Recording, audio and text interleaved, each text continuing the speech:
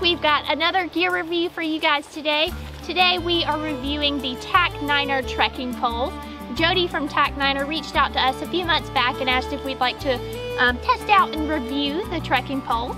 And so after several uses, this is our opinion. So these poles are really easy to put together. All you do is unfold them, put the pieces into place. Once they're into place, you just pull it out and make sure that the locking pin is engaged.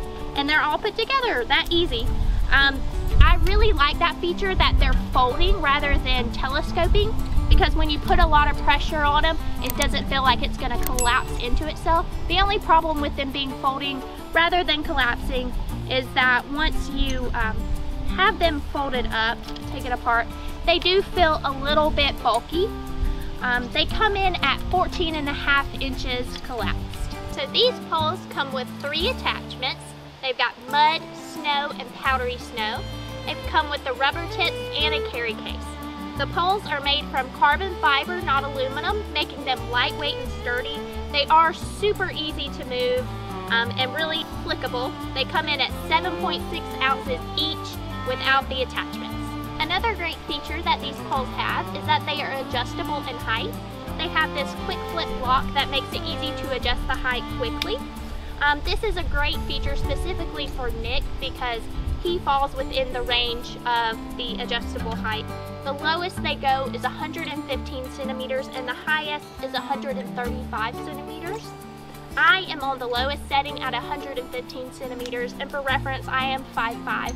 So if I needed them to be any shorter I couldn't go farther than that but I really like that they are adjustable. Some other really nice features about these poles are the adjustable wrist straps.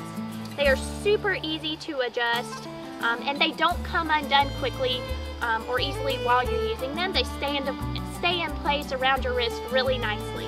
They also come with foam handles rather than cork and that's really comfortable. Um, they are soft and it feels nice in the hand. Um, and I haven't had any like blisters or anything using them, especially with my hands getting sweaty while I hike. Um, it is really comfortable and I like that.